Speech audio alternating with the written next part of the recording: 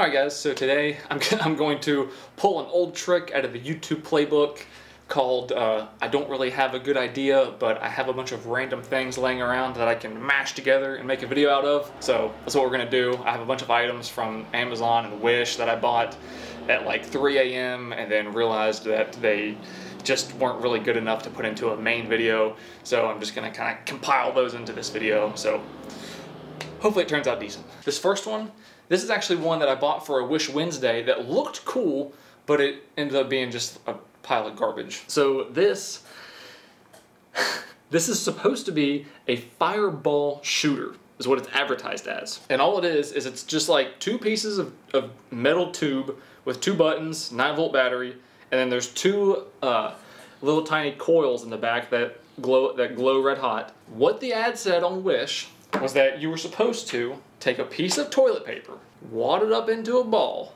and push it down there, and then once it's against the coil in the back, you're supposed to be able to just push the button, and then it's supposed to shoot out. Oh, imagine that. I can't believe it. My fireball shooter is not shooting fireballs. It's just lighting the toilet paper on fire. Who would have guessed? As you'd guess, it does not work. It just burns the toilet paper. So I don't know who tested this or who came up with this, but this thing was complete garbage. Next, go ahead and I'll get this one out of the way real fast.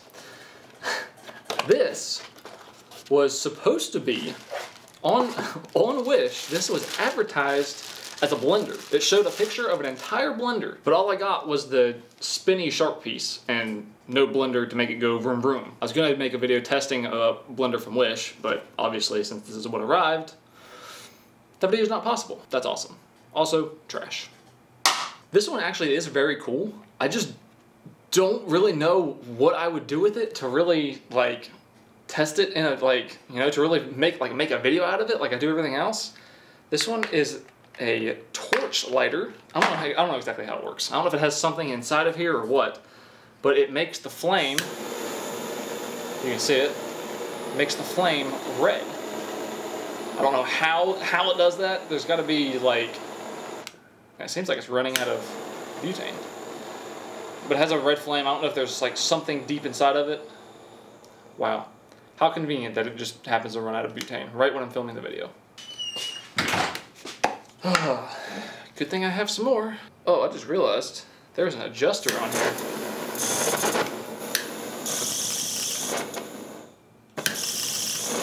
Maybe that's a little too much.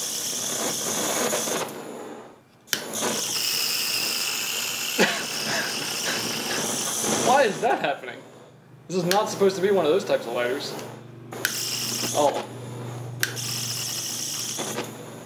Why does that happen? So it works good if you use it this way, but as soon as you tilt it this way,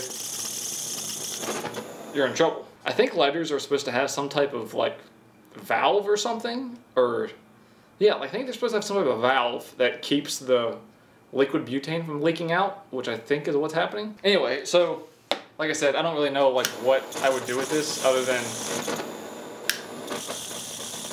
now it's not even working straight up.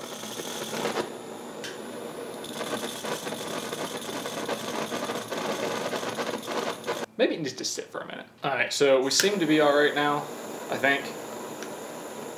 All right, we're good. So what we're gonna be testing is the only thing that they showed in the commercial that even interested me into buying this.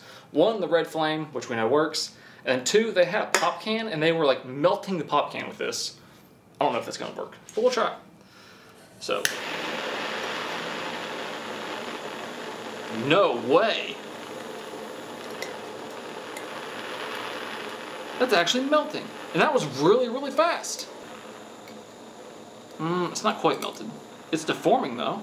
We're running out of butane again. How are we running out? Okay, so that's pretty cool. I didn't I didn't think that it was gonna do that. I thought maybe it would just heat it up enough to change colors. I didn't know that it would like deform it that way. So that's pretty cool. If maybe I'm excited for nothing, like will a regular blowtorch just do that exact same thing? Oh wow. So that's nowhere near the power of a, of a regular blowtorch.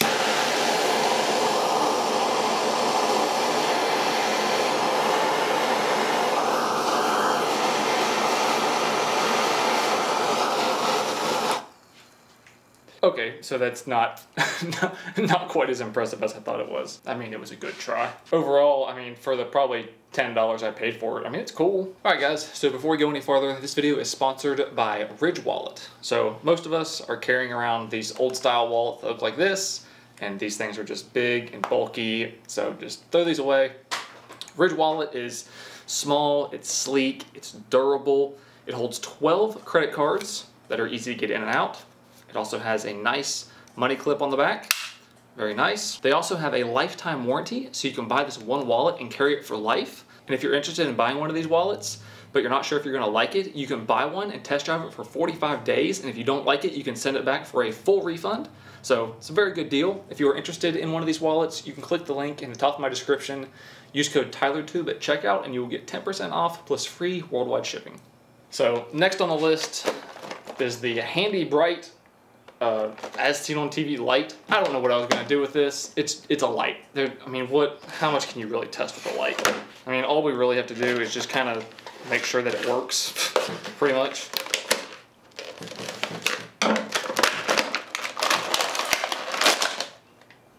Don't need any of that. Oh, it has a magnetic base. Yeah, magnetic base works. Oh, it has a hook. Hook works. Okay. And then the light works. Woo, what an interesting test that was. Is it durable? Oh yeah, it is durable. Look at that.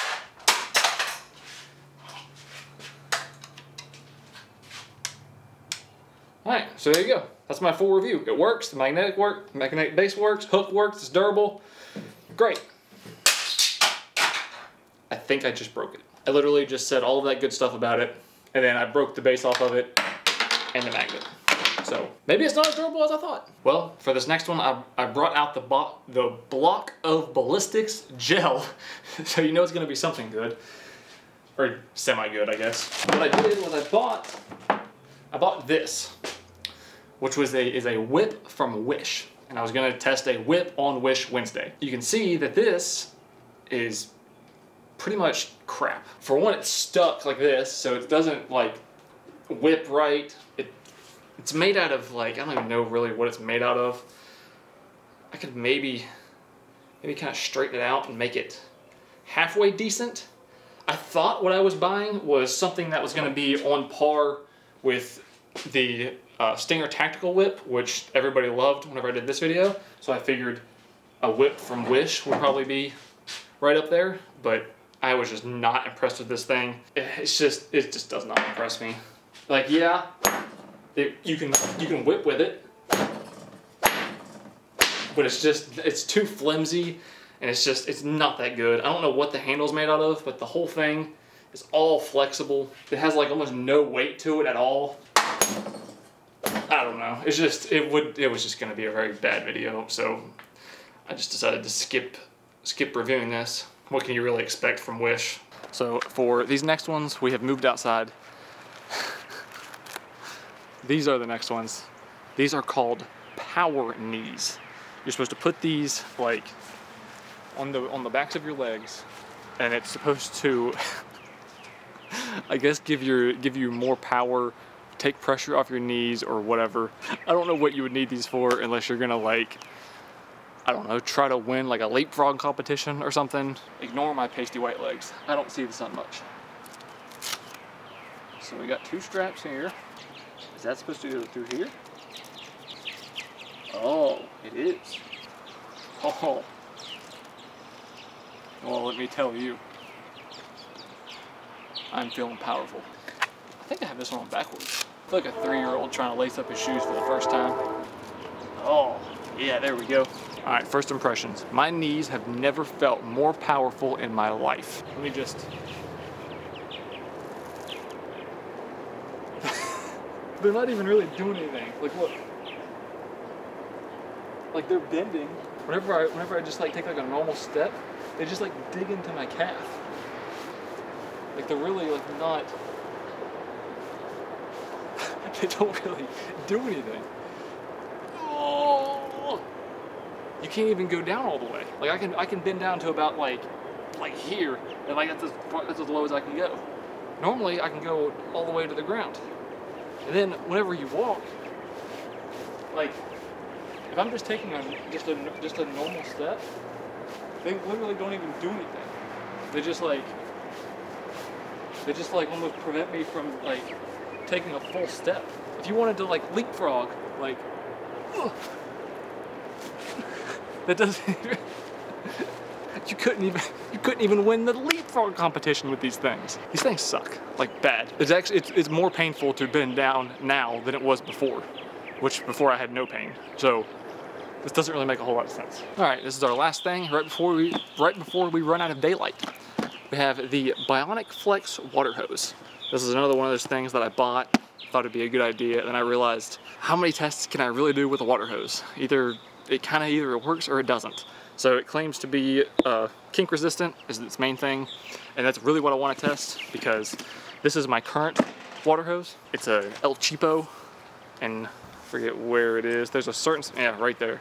There's a certain spot that just kinks every single time, no matter what. There's like probably a hundred spots throughout this water hose where it's just, it's been kinked before and it just kinks super easy. So hopefully that does not happen with this one. Well, we ran out of daylight, but what are you gonna do? So I have the new hose installed and it's not as good as you think. So we can spray it obviously, but it's still, you can still kink it off.